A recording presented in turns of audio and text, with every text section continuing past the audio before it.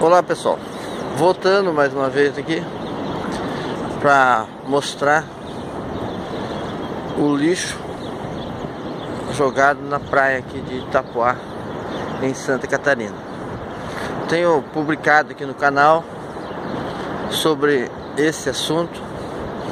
Claro que eu acho, eu penso que é uma obrigação da prefeitura de recolher esse lixo.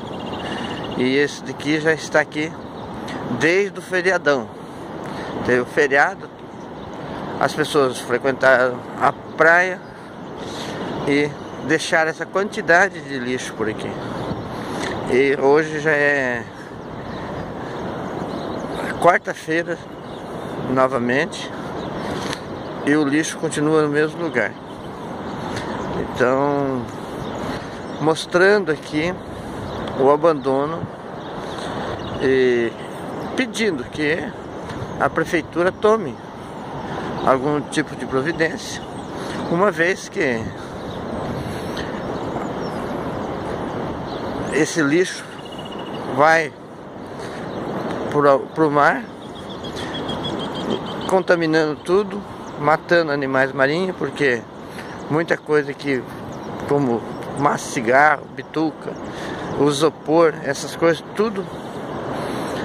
O, os animais, depende do tipo de animais, comem esse lixo e geralmente morrem de fome.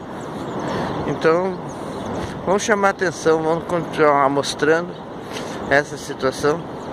Que olha, essa beleza toda aqui, de repente é atacada por pura por puro relaxo da, da administração que tem a obrigação de fazer e não faz. Tá bom? Logo mais voltaremos com mais informação sobre aqui a praia de Itapuá, Santa Catarina. Um abraço e até a próxima.